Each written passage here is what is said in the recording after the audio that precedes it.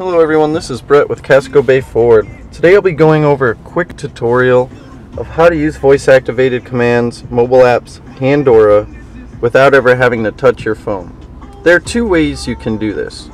You can already have Pandora running on your phone and enter your vehicle and then use the voice activated system or the way I like to do it just because I don't want Pandora running on my phone all the time is activate it with voice command and never having to touch your phone. So as you can see, I don't have Pandora running. In fact, no applications running, but that's not a big deal.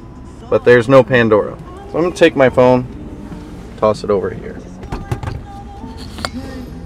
So let's get started. Sync. Please say a command. Mobile apps. Mobile apps. Please say a command. Pandora.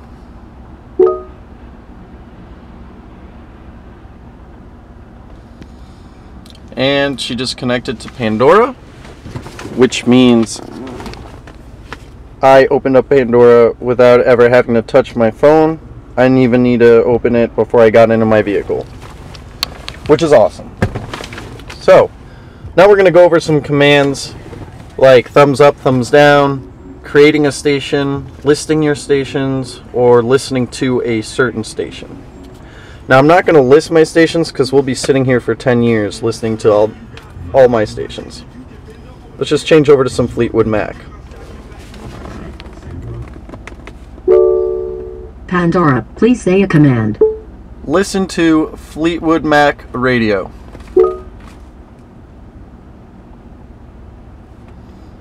And it just changed on over to that radio station as you can see. And let's say I want to thumbs up this song, which I'm going to because I like this song. Pandora. Please say a command. Thumbs up.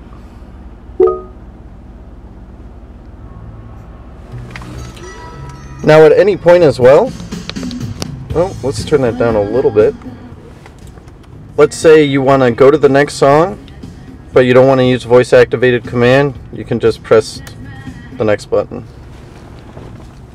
And as you can see, it just went to a, another song. So, let's say I want to create a station based on some John Lennon. Again, come over here.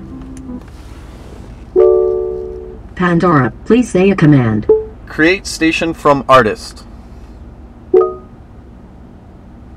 Creating station from John Lennon.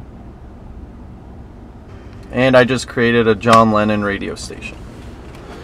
So there are a few other commands you can do, but at any point, if you forget the options, press the sync button and just say help and she will list them for you and then you can get more acquainted with the menus and options you have. So thanks for tuning in. And we'll have more tutorials on some of the neat voice activated system features you can do. Thanks again.